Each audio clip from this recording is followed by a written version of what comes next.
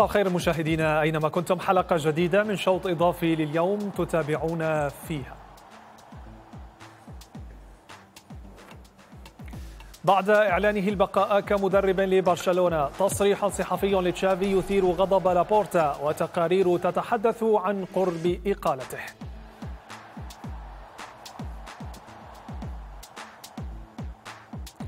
نادي يوفنتوس الإيطالي يعلن رسميا التخلي عن مدربه ماسيميليانو أليغري رغم تتويجه الأخير بكأس إيطاليا على حساب أتلانتا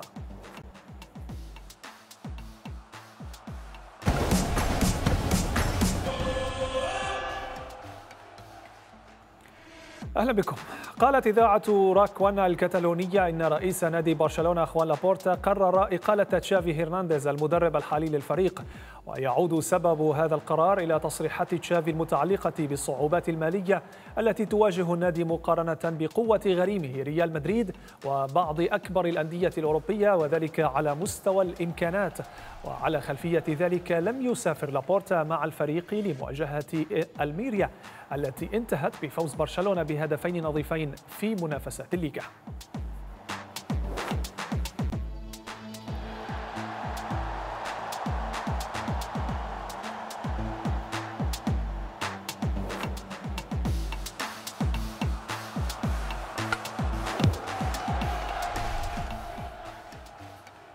نستمع الآن إلى التصريحات التي أدلى بها تشافي هرنانديز لوسائل الإعلام والتي أدت إلى إشعال النار داخل المعسكر الكتالوني.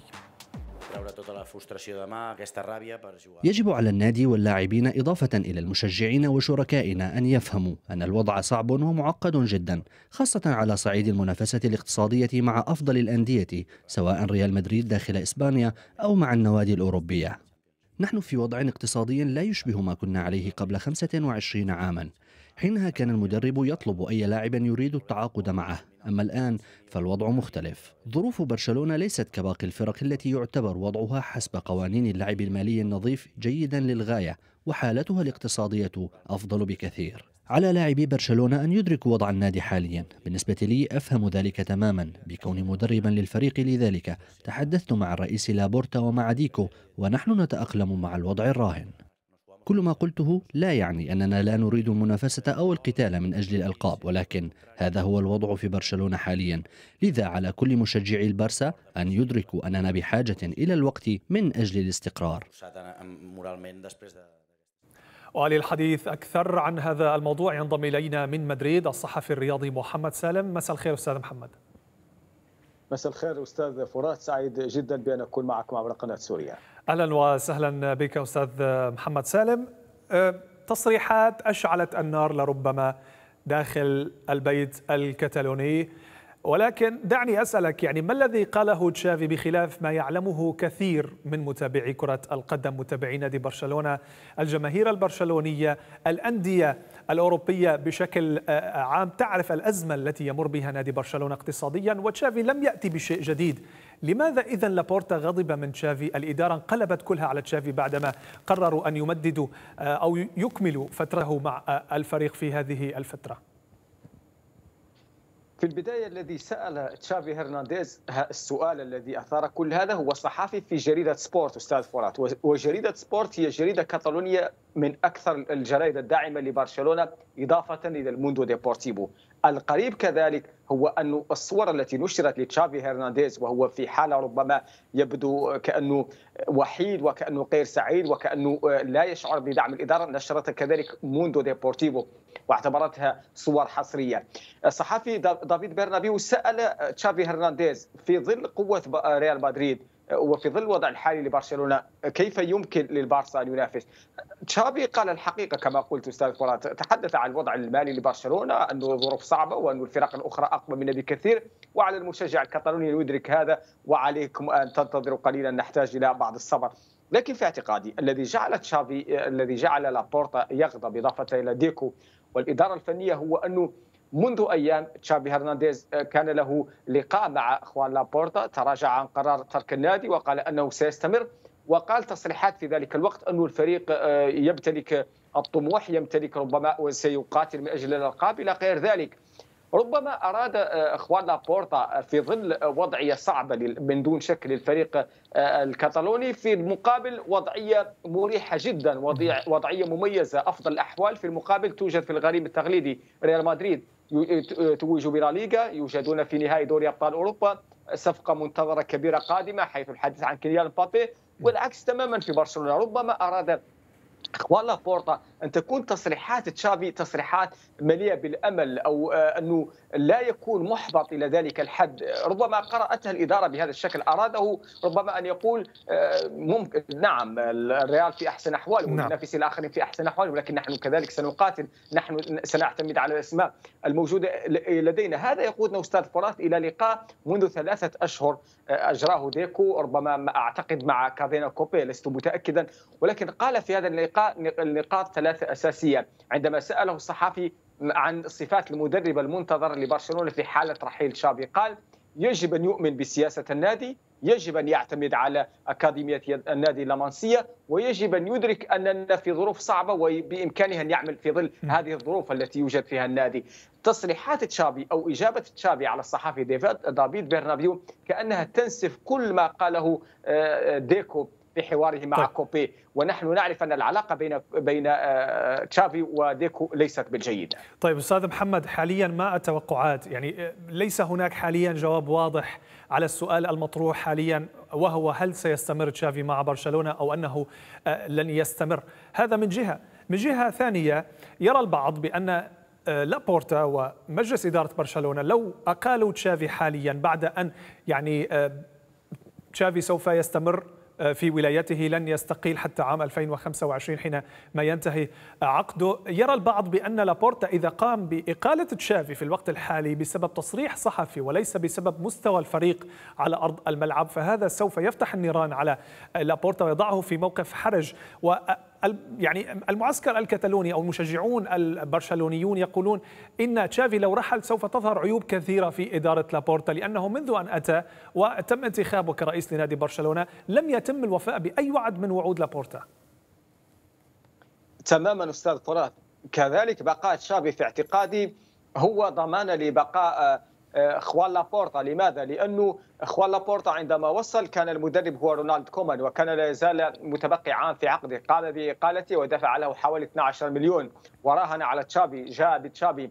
بالتالي تشافي يمثل آه، دعني أقول إحدى نقاط قوة آه، بقاء إخوان لابورتا وإدارته لبرشلونة. بالتالي الاستقناع عن تشافي وفي ظل هذه الظروف وبهذه الطريقة من دون شك سيهدد بقاء إخوان لابورتا وسيهدد بقاء كل الإدارة الفنية قد نذهب حتى إلى انتخابات مبكرة في في آه، برشلونة خاصة إذا كان المدرب الذي سيخلف خوان لابورتا آه، أقول تشافي لم يحقق النجاحات الكبيرة لذلك أعتقد أنه على على لابورتا أن يتريث عليه لا يتخذ هذا القرار بسرعة وإن كانت كل الظروف توحي بأنه قد يتجه إلى إقالة تشافي هرنانديز ولكن ستكون ضربة قوية لإخوان لابورتا طيب. لبقائه في النادي الكتالوني لأنه أي خيبة بعد ذلك ستؤدي إلى رحيل لابورتا سؤال أخير حول هذا الموضوع قبل أن أنتقل معك إلى آه، ملفنا الثاني. هل آه، يعني تظن بأنه لو استمر لابورتا مع الفريق وتم إقالة تشافي هل سنكون على موعد مع آه، مشروع كمشروع ميلان كمشروع مانشستر يونايتد؟ الأندية التي كانت كبيرة في السابق في أوروبا ثم تراجعت. هل حاليا برشلونة يسير على هذا الدرب؟ برشلونة من دون شك يعاني لا زال يدفع تبعات أزمة ما بعد بارتوميو. آه، لأنه من دون شك آه، اخوان لابورتا لم يستلم فريق في أحسن احوال واستلم فريق صعب جدا.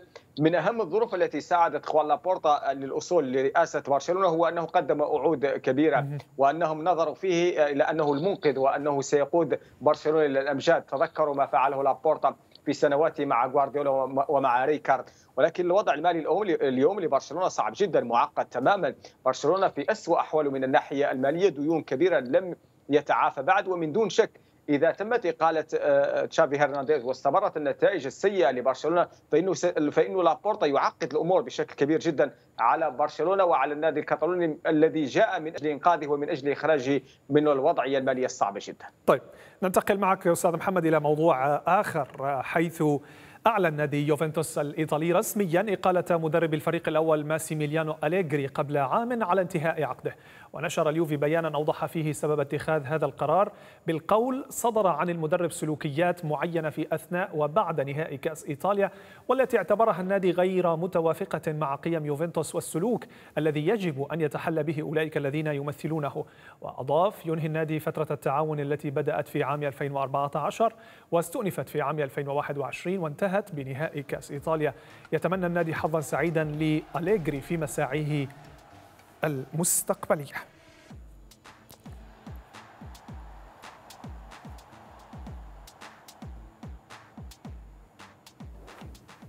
أعود إلى ضيفي من مدريد الصحفي الرياضي محمد سالم للحديث عن هذه الإقالة التي لم تكن لربما أستاذ محمد هي إقالة مفاجئة لماسيميليانو. أليغري هذا الرجل الذي انفجر كما شاهد الجميع عبر شاشات التلفزة خلال نهائي كأس إيطاليا بين يوفنتوس وأتلانتا. تشاجر مع الحكم آه، حينما طرده تشاجر مع الحكم الرابع. تشاجر مع صحفي من توتو سبورت كذلك الأمر آه، بالإضافة إلى المدير الرياضي في النادي يعني هل لربما كان أليغري يعلم بأنه سوف يخرج وأراد أن يفعل يعني أقصى ما يمكن أن يصل له الإنسان من لحظة غضب مثلا؟ أنا في اعتقادي أن أليغري لم يكن غاضبا من أجل أليغري كان غاضبا من أجل فريق يدافع عن ألوانه هذا حال كل المدربين الذين يريدون الأفضل، المدربون ينفعلون على خطوط التماس في المقاعد البدلاء ولكن من أجل أن يحقق من أجل احتجاجا على قرارات ربما لا يجدونها صائبة احتجاجا على ظلم فرقهم. أليغري لا يمكن أن يظل جالسا ينتظر ربما نهاية المباراة أبدا أبدا. لم تكن جماهير جوينتوس لترضى بهذا. أليغري آه، يريد أن يحقق فريق جوينتوس الانتصار. في هذه البطولة في نهائي الكاس في أي مواجهة أخرى. لذلك لابد أن يكون حاضرا لابد أن يعيش المباراة بكل تفاصيلها. يقضم ينفعل على الحكام هذا حال كل المدربين. أنا في اعتقادي ردة فعل الإدارة كانت سيئة جدا لأنه كنا قبل جولتين من نهاية الموسم كان عليهم أن ينتظروا ربما حتى نهاية الموسم وإن كانت النتائج التي نراها اليوم لجوفنتوس آه، هي نتائج سيئة جدا خمس تعادلات في آخر جولات في الدوري الإيطالي. صحيح أنهم يحتلون المركز الرابع لم يضمنوا بشكل رسمي الوصول لدوري أبطال أوروبا. ولكن حتى حال جوفنتوس سيء جدا الإدارة كان عليها أن تكون داعمة هو انفعل بعد ذلك مع بعض مسؤولي جوفنتوس ولكن هذه أمور تحدث كان من الممكن أن تكون الإدارة داعمة لأليغري لأنه أليغري لم ينفعل من أجل أليغري فعل من أجل ألوان طيب. جوفنتوس من أجل أن يتوج جوفنتوس لذلك كان على الإدارة على الأقل أن تؤجل القرار حتى نهاية الموسم. أستاذ محمد أنا معك. يعني دائما المدرب يريد أن يقدم بالأخص أليجري الذي كان له فترة آه، كما ذكرنا في 2014 حقق أمجاد لربما بالنسبة للدوري الإيطالي حققه كثيرا مع يوفنتوس أيضا وصل إلى نهائي دوري أبطال. ولكن المشكلة الحاصلة حاليا بأن الانفعال الذي قام به أليجري كان مبالغ فيه بدرجة كبيرة. كما شاهدت يعني الرجل قام بخلع الجاكيت ثم خلع الجرافات وبعد ذلك يعني القميص. يعني هذه الحركات لربما لشخص بعمر أليجري وخبرة هذا الرجل لا يجب أن تصدر عنه خصوصا أن هذا الفعل ربما ينعكس سلبا على مسيرة الرجل إذا كان يريد أن يدرب في إيطاليا أو حتى في أوروبا يعني هل تستطيع أن تقول لي بأن أحد الفرق الكبرى في آه، إنجلترا سوف يأتي بأليجري كمدرب بعدما حصل في هذه المباراة من ردة فعل؟ أعتقد ذلك لأنه نحن نتحدث عن واحد من أفضل المدربين جوينتوس يدركون جيدا ما قام به أليجري خاصة في فترته الأولى. جوينتوس قاد قاده أليجري في إلى نهائيي دوري أبطال أوروبا حقق معهم الدوري عندما وصل في 2001 في أربع مناسبات متتالية. حقق كأس إيطاليا أربع مرات. نجاحات أليجري يشهد عليها يوفنتوس قبل ذلك الميلان. المدربون كذلك ينفعلون ليس فقط أليجري معظم المدربون لديهم حالات انفعال كبيرة. أليجري كمدرب هو واحد من أفضل المدربين. أنا أتصور أن يتم آه، بعد ذلك التعاقد معه من طب لماذا لماذا هاجم الصحفي؟ آه، لو سمحت لي لماذا هاجم الصحفي صحفي توتو سبورت وقال له إن كنت تريد أن تنشر في صحيفتك أخبار عليك أن تتأكد بأن هذه الأخبار ليست أخبار يقوم ب يعني آه، إجبارك النادي على نشرها. يجب أن تكون أخبار حقيقية وصحيحة. تماما. أنا أعتقد أنه كذلك السؤال يتعلق ب أو كان رده كذلك يتعلق باقالته أو تريد أن تنشر إقالتي إلى غير ذلك. ربما هو لم يستسق السؤال خاصة في حالة غضب طبعا غضبه على الصحافي يأتي جزء من هذا لأنه كان في حالة ربما صعبة جدا. كان قاضي من دون شك. كما قلت كذلك أستاذ فرات منذ البداية أنه ربما أليجري كذلك كان يشعر بهذا كان يشعر أنه الإدارة تتجه إلى اقالته كان كل كان يلعب المباراة النهائية وهو بهذا الشعور أي أنه لم يكن ابدا مرتاحا بحيث كان يشعر انه الإدارة تتجه إلى إقالته بغض النظر عن نتيجة المباراة ربما هذا كان حاضر معه لأنه هذا الانفعال الكبير طب اداري لا يكون كذلك. إداري نادي يوفنتوس لماذا هاجمه أيضا أليجري؟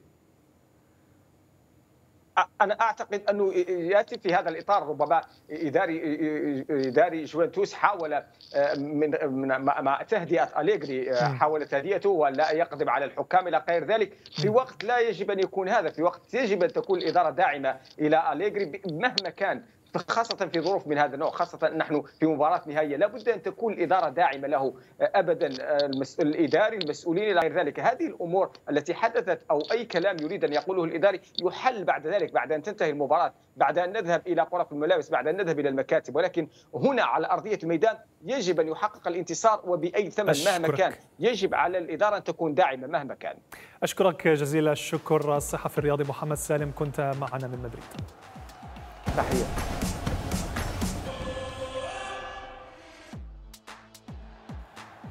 قرر الاتحادان الدولي والآسيوي إقامة مباراة العودة بين منتخبي سوريا وكوريا الشمالية في جمهورية لاوس وذلك ضمن التصفيات المزدوجة لكأس العالم 2026 وكأس آسيا 2027 وسبق لليابان أن فازت قانونيا على كوريا الشمالية بعد رفض الأخيرة لعب المباراة في بيونغ يانغ ليطلب اتحاد كرة قدم النظام نقل مباراتهم إلى خارج كوريا بمبدأ المعاملة بالمثل لتلعب في السادس من الشهر المقبل. ولعب المنتخب الممثل للنظام أربع مباريات مباريات في الدور الثاني فاز باثنتين على كوريا الشمالية بهدف وعلى ميانمار بسبعة أهداف نظيفة وتعادل مع ميانمار بهدف وخسر أمام اليابان بخمسة أهداف نظيفة. ويتصدر المنتخب الياباني المجموعة باثنتي عشرة نقطة يليه منتخب آه، سوريا الممثل للنظام بسبع نقاط ثم كوريا الشمالية بثلاث نقاط وأخيرا ميانمار بنقطة واحدة.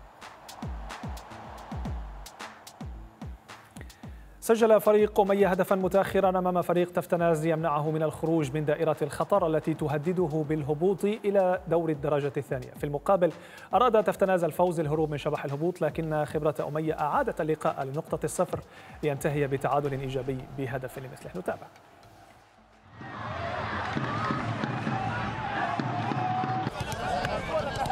الاعتماد الخطة عنا أطرافنا أطرافنا كانت جيدة نحن كانت أمورنا تمام أطرافنا كانت سيئة. الحمد لله يعني عم بنحاول نبتكر من النص بس إحنا أساس خطتنا على الأطراف تاعتنا. فنيا إن شاء الله نحن بنقصنا التركيز بنقصنا التوفيق. فريقنا حلو عنده عناصر شابة عنده عناصر خبرة عنده عناصر متكاملة. سبحان الله عم نمر بظروف نفسية صعبة كثير إن شاء الله نحن اليوم اشتغلنا آه، مع الكباتن كابتن زياد كابتن عبد الناصر اشتغلوا معنا على آه، نطلع من هي الحالة. وإن شاء الله اليوم تكون انطلاقة كويسة بنحقق نتيجة إيجابية بنفرح فيها جمهورنا. وما بدنا ننسى إنه إحنا اليوم عم نلعب مع خصم آه، كبير خصم عنيد مع نادي أمية. بدون مبالغة بدون مجاملة هذا فريق كبير بدنا نحترمه. إن شاء الله تعالى.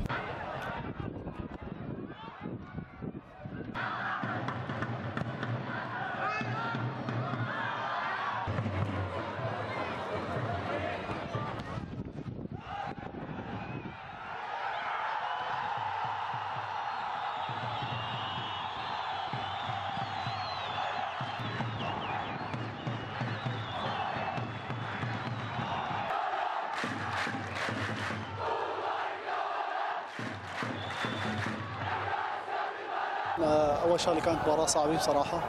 فريق تفتناز بحاجة لنقاط آه، المباراة كان آه، ليهرب من شبح الهبوط. نحن كمان كنا بحاجة لنقاط لننافس على المراكز الثلاثة الأولى.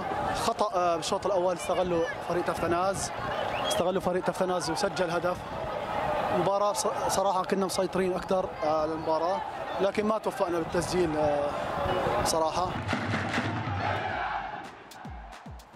إلى هنا نصل وإياكم مشاهدينا إلى ختام حلقة اليوم. من شوط إضافي نلقاكم في حلقات مقبلة. إلى اللقاء.